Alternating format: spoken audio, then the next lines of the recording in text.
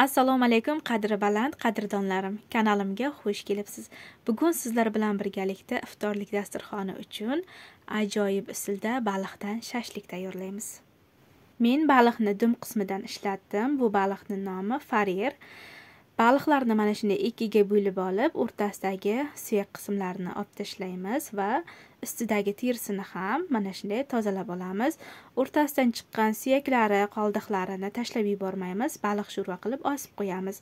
Mana baliqni mana shunday qiltiqlardan tozalab olgandan keyin mana shunday katta katta kubikcha shaklida to'g'rab olamiz.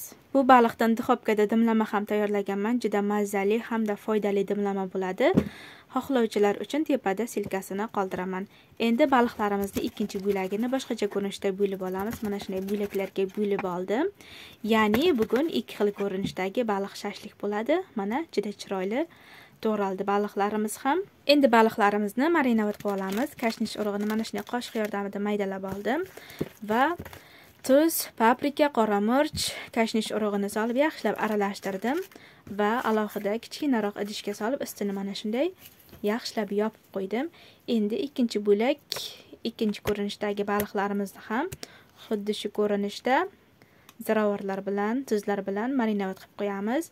Qora murch kashnish urug'i paprika tabga ko'ra tuz solib yaxshilab aralashtirib buni ham ustini yopib qo'yaman. Men olov yoqib chuh tayyorlagunimcha baliqlarimiz ancha ziravorlarni o'ziga singdirib oladi.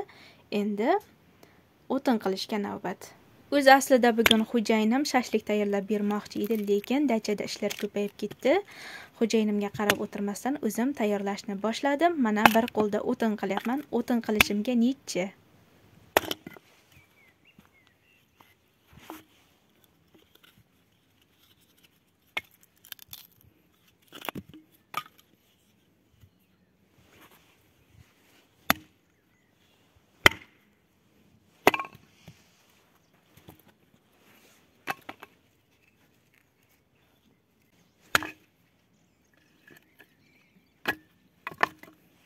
mana o'tinlarni maydalab olovni ham yoqib yubordim. Endi ko'proq o'tin solib ko'proq cho'q qilishga harakat qilaman.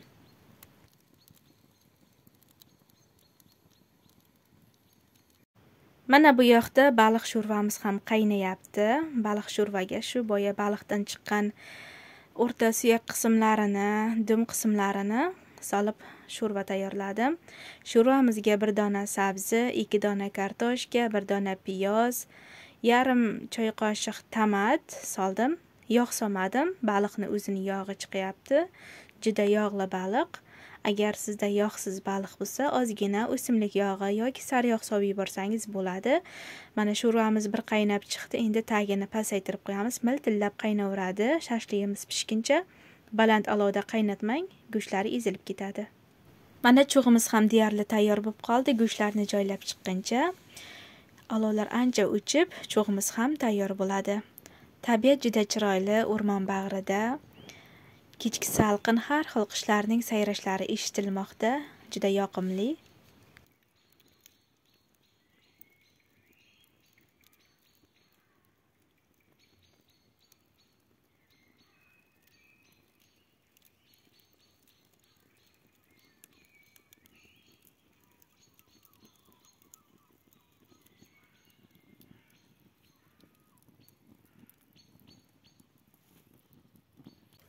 Endi go'shtlarni pishirishga tayyorlaymiz.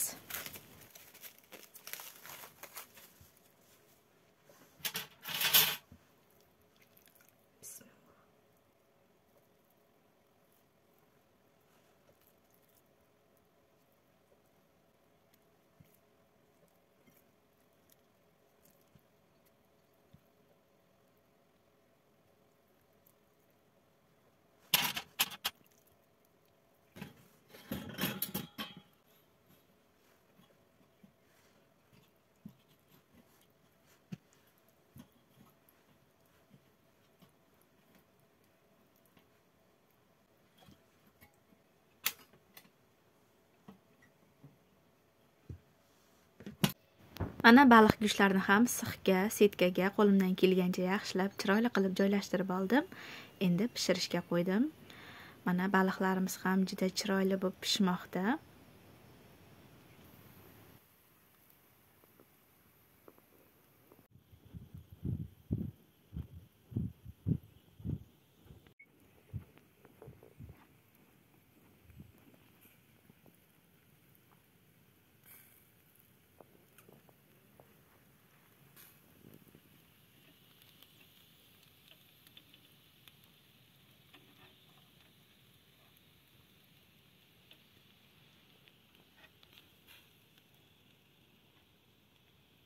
Mana ko'rinishi juda chiroyli mazasi esa a'lo darajada bo'lgan baliq shashliklarimiz ham tayyor bo'ldi. Ko'rib turganingizdek juda yumshoqqina qip qizilgina bo'lib pishgan vilka yordamida osongina bo'linib ketadi. Bu usulda pishirilgan baliq go'shtni barcha vitaminlari o'zida saqlanib qoladi. Sizlarga ham mana shu usulda tayyorlab ko'rishingizni tavsiya qilaman. Video sizga yoqdi foydali bo'ldi degan umiddaman. O'z fikrlaringizni kommentariyada yozib bir dona layk bosishni unutmang. Keyingi videolarda yana g'oyibona ko'rishguncha omon bo'ling o'zingizni ehtiyot qiling. Ha aytgancha baliq sho'rvani saharlikka tanovul qildik. Baliq sho'rvasi ham juda mazali bo'lgan. O'zingizni ehtiyot qiling doimo sog' salomat bo'ling.